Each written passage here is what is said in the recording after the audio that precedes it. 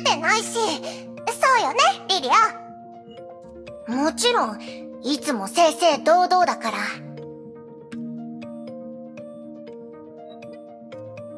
うん。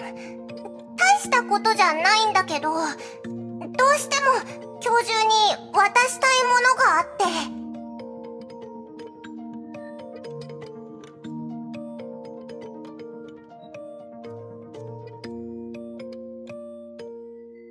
そう、数ヶ月前から私とロザリアで今日のために頑張ってきたの。詳しくは私が説明するわ。チョコを作るって決めて、私たちはこっそりとハイペリオンのキッチンに潜り込んだの。みんな私たちの料理の才能にびっくりしちゃって、これ以上教えることはないって残念そうにしてたわ。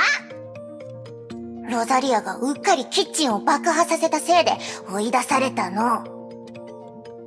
かはんそれでも、私とリリアはチョコレートケーキを無事作り上げたわ。さあ館長、早く食べて！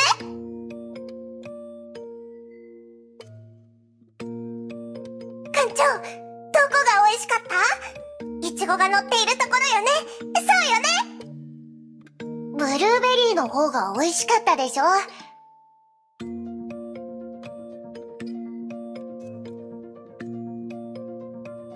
やった！リリア、大成功だわ！ほら、私の作り方は正しかったでしょ？私のおかげ。違うわ。私よ。リリアのところは焦げちゃってたし、ジャムを厚く塗って、やっと隠せたんじゃないロザリアだって道具を壊した。そのせいでデコレーションを全部手でする羽目になったんでしょ